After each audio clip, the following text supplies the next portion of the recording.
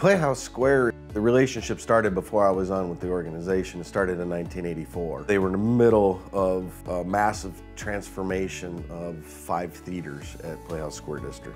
They had basically gotten to the point where they almost saw the wrecking ball, and a small group of philanthropists decided to get together and, and rebuild these. Uh, it was shortly thereafter uh, that installation where we came in and started helping with additional roofs and maintaining that initial installation.